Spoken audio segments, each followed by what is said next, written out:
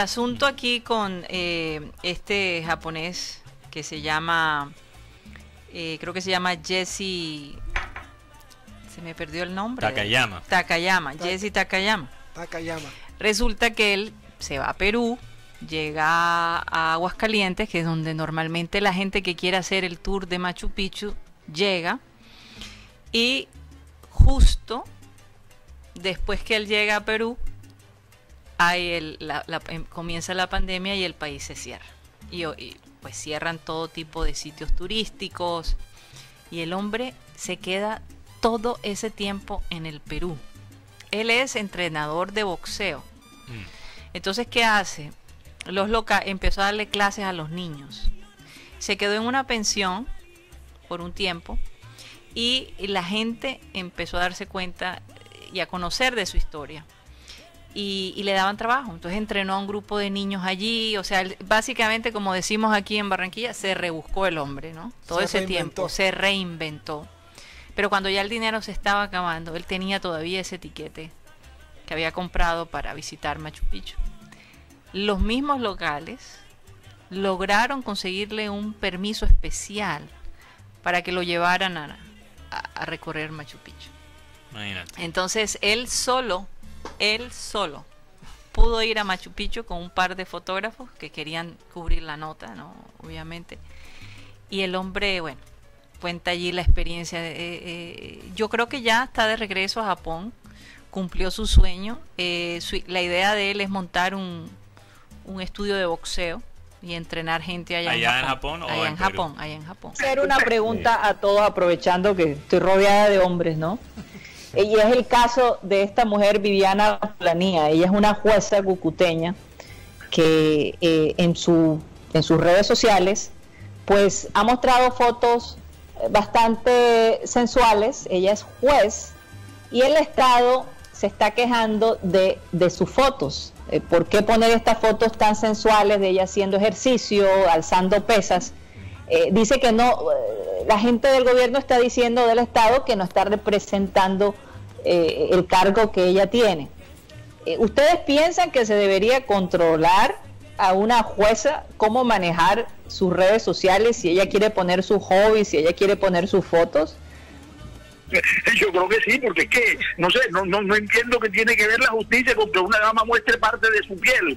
Yo pienso que, que es decir, es una cosa, es, decir, es incongruente. Ahora, si ella fuera un artista, una actriz, bueno, no importa, vaya y venga, una influencer, en fin, lo que sea, pero ya siendo una juez que se presume que va a administrar justicia y la justicia hacia ella, pues no, no sé, no, no creo que deba mostrarse así, mostrar tanta piel en un caso de eso.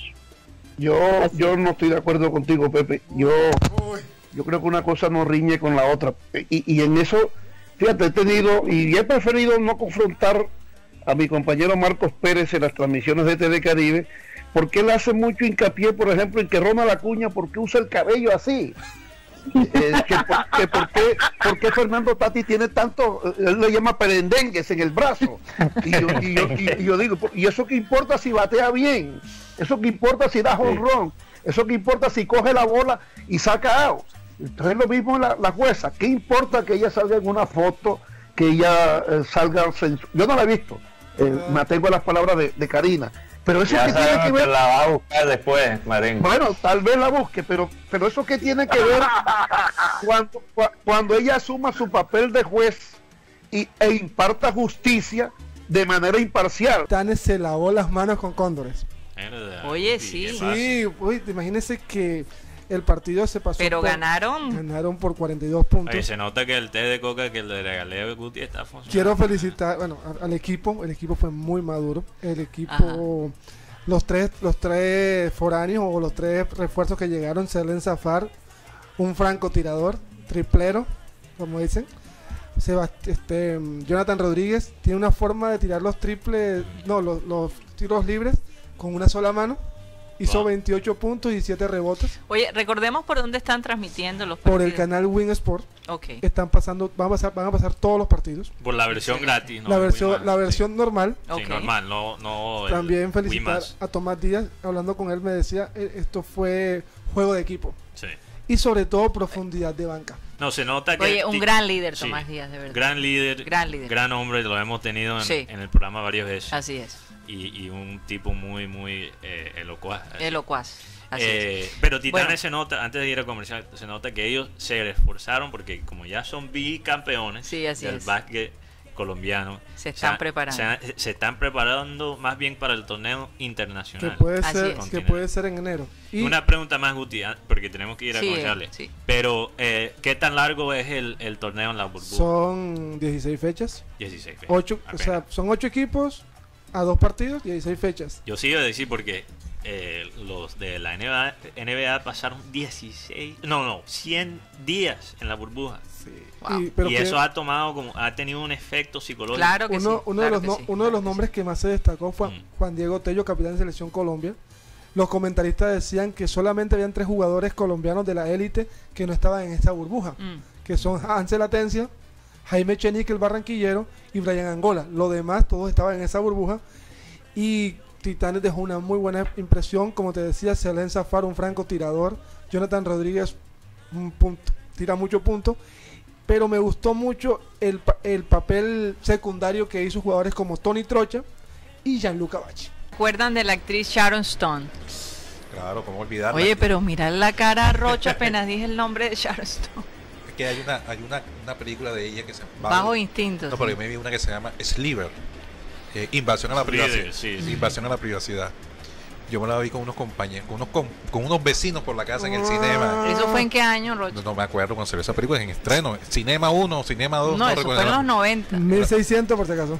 Eh, la Murillo. No vi eso, ve a Sharon Stone esperando la escena de Sharon. la- Uy, no, A eso de fue los buses eran, los buses eran a 100 barras, ¿no? A 100 o a 120, no recuerdo. Imagínate eso, hace rato. Hace rato, Bueno, resulta que ella se ha casado dos veces, se ha divorciado. Y ella dice que ya definitivamente no quiere salir con nadie. Se cansó de tener citas amorosas. Dice que quiere dedicar su tiempo a su familia y a sus amigos. Tiene, tiene hijos. Eh, ella se da cuenta que definitivamente eh, la mujer, por ejemplo, eh, ella siente que la mujer es mucho más madura que el hombre en muchos aspectos. Eh, Tiene y- tres hijos. Sí, tiene, tres hijos, ¿no? Ella tiene tres hijos. Pero también ha sido una mujer que ha tenido muchos problemas. Ha tenido, si no estoy mal, problemas con el alcohol. Ha sido bastante inestable, in- inclusive en, en sus últimos trabajos no, no ha tenido mucho éxito. Ella le ha tocado difícil el hecho de ser una mujer tan hermosa, ¿verdad? Eh, Ay, tan, tan 60 y- deseada por, por tantos hombres también. Se ve todavía bastante bien.